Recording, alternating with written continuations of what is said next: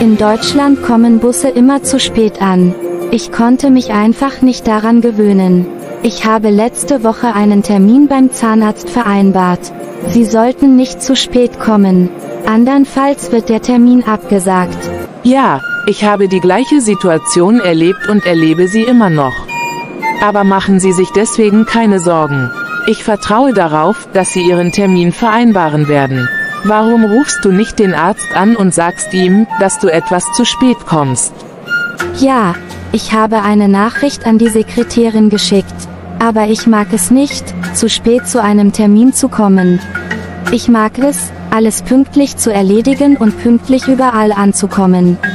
Du hast recht. Es gibt ein Sprichwort. Zeit ist Geld. Wenn ich also nicht pünktlich zu einem Termin erscheine, habe ich das Gefühl, dass ich der Person sozusagen neben ihrer Zeit auch ihr Geld stehle.